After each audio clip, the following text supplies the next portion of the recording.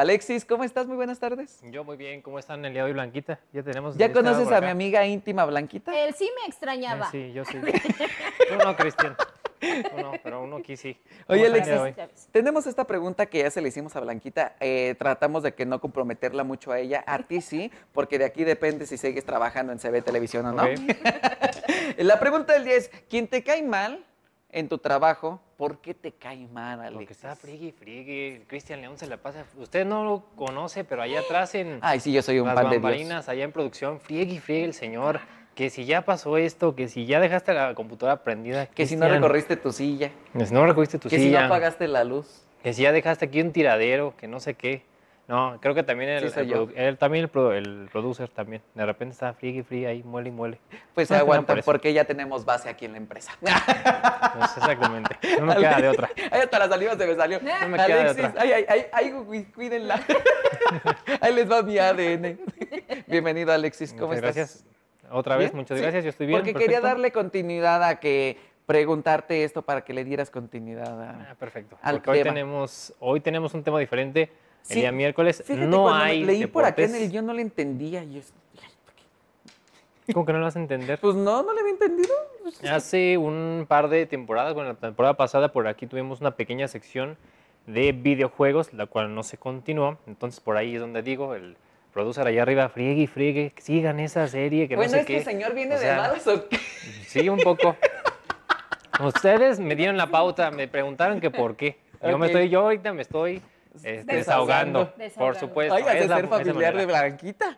Es el momento, muchachos, entonces sí. Adelante, adelante con Entonces ello. hoy les tenemos eh, a presentar, les venimos a presentar una nueva sección que la vamos a reanudar, la sección de videojuegos, donde estaremos platicando un poquito acerca de toda la novedad en este mundo, en este ámbito, más que nada para quizá un público diferente, que quizá le pueda interesar un poquito más. ¿Y ¿Te parece? Empezamos con los temas que traigo el día de hoy. Adelante. Tenemos dos temas importantes. El primero es de la consola PlayStation que ha hecho ya oficial. Van a sacar un dispositivo nuevo que se adaptará a la consola PlayStation 5 para que ustedes estén pendientes si les gustan más que nada los videojuegos. Si ya cuentan con la consola, esta información les va a agradar.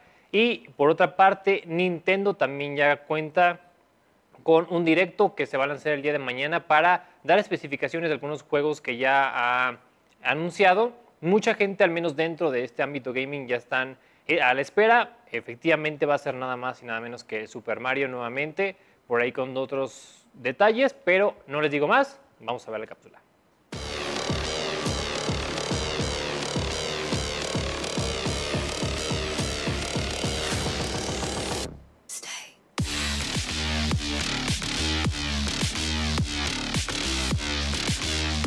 Las nuevas generaciones de videojuegos han tenido un crecimiento importante en la industria.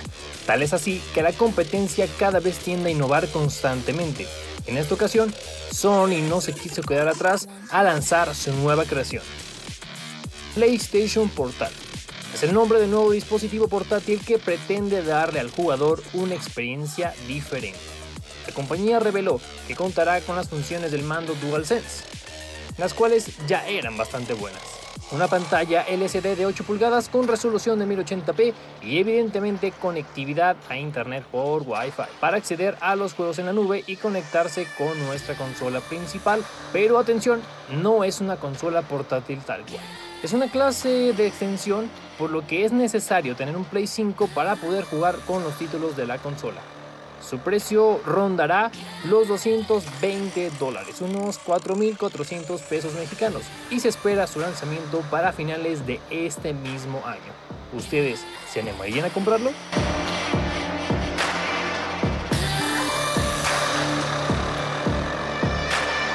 Mientras tanto, del otro lado de la industria, luego de la sorpresa que nos dejó Nintendo en su último directo con el lanzamiento de Super Mario Bros. Wonder y Super Mario RPG, se anunció de manera oficial la fecha del nuevo directo totalmente en vivo, donde se darán detalles de los últimos títulos de Mario.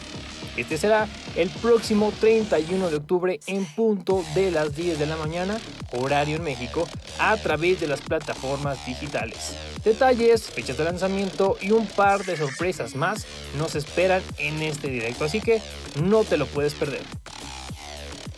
Hasta aquí con la información del mundo gaming, jueguen mucho y nos vemos pronto.